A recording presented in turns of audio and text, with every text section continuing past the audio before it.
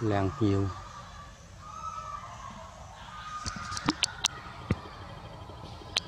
cái gì?